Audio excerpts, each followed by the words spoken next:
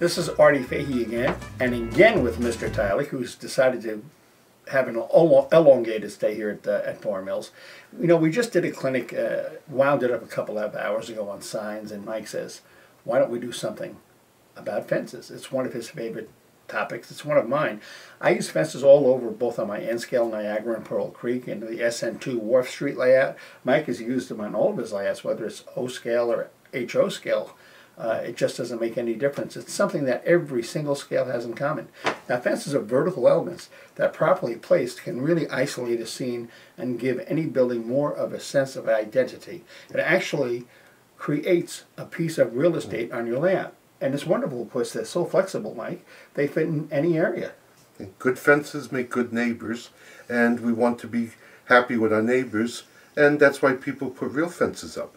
The board fences we show in these buildings that come in many of the Bar Mills kits are a fast, fast vanishing part of Americana.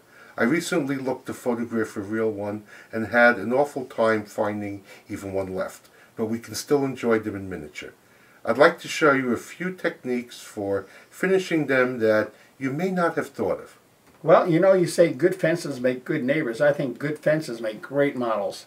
Mike, why don't you take care of it and we're going to just change scenes here and stick around for a few minutes. This is going to be a quick, interesting one and one that everybody will want to cash in on.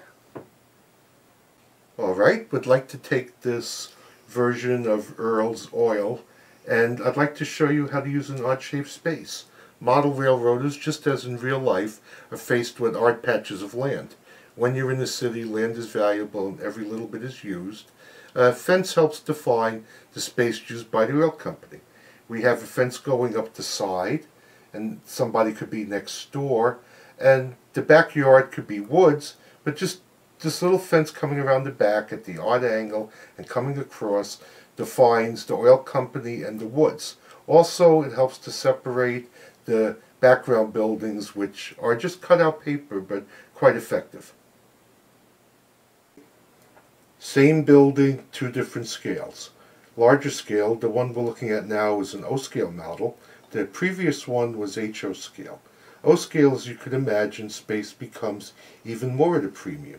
Here we have the fence plus another device to frame the area. We have a simple right angle fence, which is all you really need to define the back. The building itself becomes the background here with the forest. And the billboard is used on this side, which acts very much like a fence visually. This separates the foreground from the background. Some simple trees are all you need to hide the fact that we have a very small space. Here we have the two dioramas in the same scene, just to show you how possible it is with use of fences and other visual blocks to create what seems to be a whole world in a very small space. We had previously talked about framing the background and the side ground. One thing we tend to forget is that one place we always run out of space is in the foreground. With this particular scene, we have a fence that helps to show the front edge of the layout. It's interesting, I think, that it hides a very detailed little area, so you have to look up and peer around it.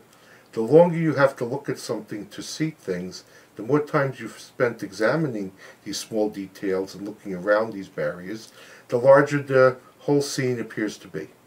In this diorama we have a completely different approach. There really is no background. The fence does define the foreground to some extent. What I find interesting is the two odd angle fences on either side which almost become a pair of open arms drawing you into the structure. The old brick, the old work, the weathered wood, the beat up boards are some of the techniques we hope to show you to make your fences look different from everyone else's.